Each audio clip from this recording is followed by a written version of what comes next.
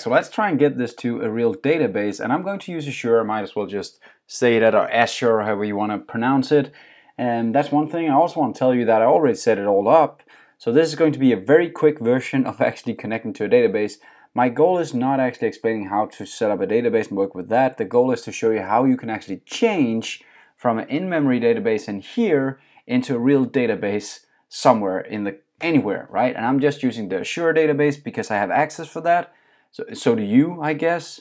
You get free licenses there if you don't. Um, but the goal is not to show you how to set up Azure and work with Azure and blah, blah, blah, blah. It's more to show you how to take a database connection and add it to your application and actually get up and running in very short time with a database somewhere that you already set up. So let's do it. Step one, I'm going to Azure here and I'm just going to create a new SQL database. Now this is what I promised you not to show you, so I'm just doing it really fast. I'm calling the database CS 2017. There we go. Now that's all you have to do and let's just say create. Now that's going to be created because I need a connection string. That's what I need for Azure right now. Just let it create this and let's go back to the code. While we do this, I want to do one more thing, and this is kind of, we'll fix this in lesson series 5 because I'm not quite satisfied with this, but I want to make one more thing. I want, when inside the unit of work, when I'm creating my context, I want to make sure that the context is actually created. The database is created, the tables are created. And you can do that with a single line right here, this guy.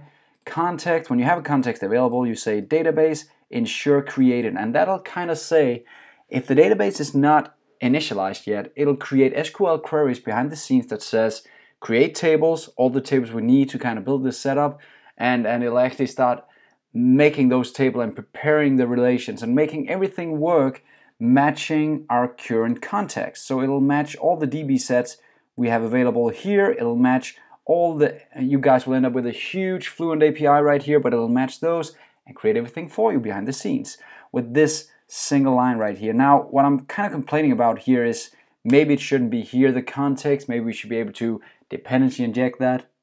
I said it again.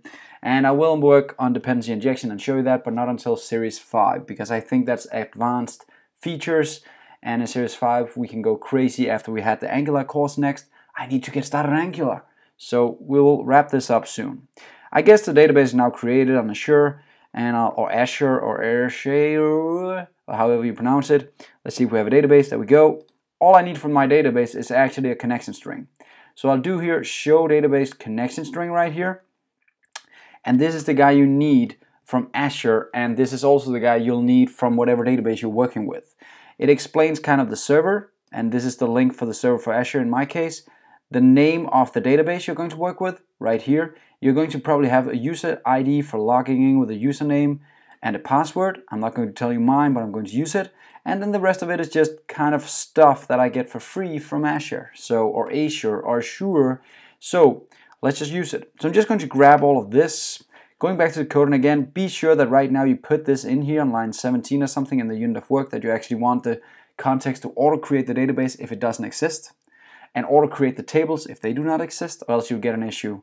Uh, jumping into the context, that's the last thing I need to do. I'm going to outcome on this line right here. There we go. So I don't want to use the default setup where I go in and build an in-memory database right here. I want to now override configuration like this.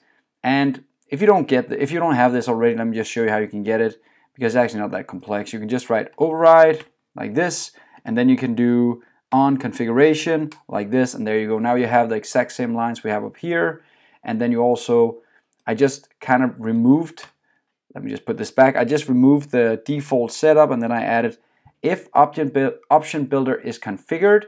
If that's not configured yet, then use an SQL server. And here we go. I'm just going to grab that entire line and add the username and password of mine.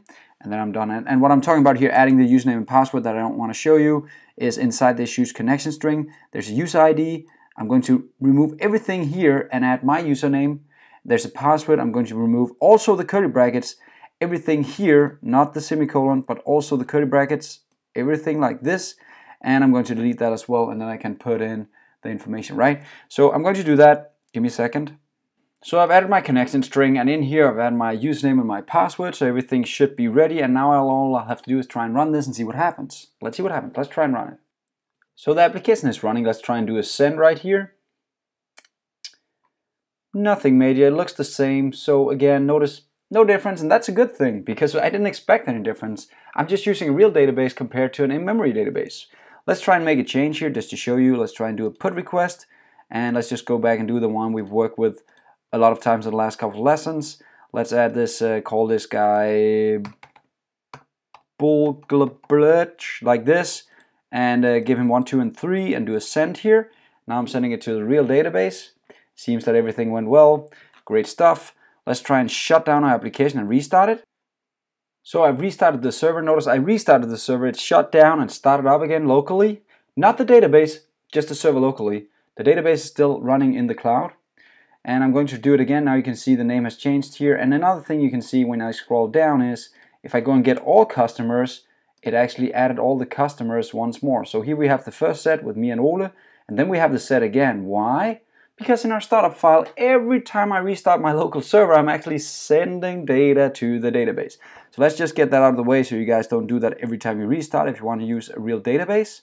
So I'm just shutting down, going into the startup file, and everything here from actually the facade right here, let's just outcomment all of this because I don't want to populate data now every time I restart the server. I don't need it anymore because now I'm running with a real database. Notice the database is live, the REST API is still only locally, so that's the difference. The database live, REST API local on your machine. But that just means that now you can connect to any database you want, kinda.